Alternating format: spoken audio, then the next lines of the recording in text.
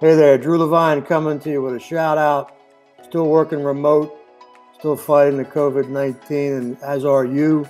And we are winning as the customer response from our work has been nothing short of amazing. And I, and I will never get tired of saying thank you to the brave men and women out there taking care of business for our customers.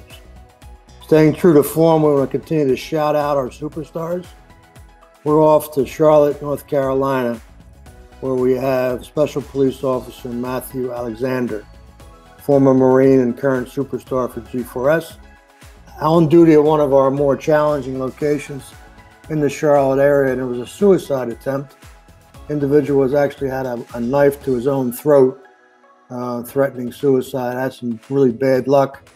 Girlfriend broke up with him. His, his mother recently passed, and was a little overwhelmed. And and C- SPO Alexander was able to convince him not to do that. Took control of his of the weapon, took it away from his neck, got him some help, and the individual actually came back the next day to thank SPO Alexander for helping save his life. And it doesn't get much better than that. John, shout out to you, Matthew, for doing a great job. And thank you for your service to our country. And thank you to, for your service to G4S and our customers and their customers. Coming to you soon with more shout outs.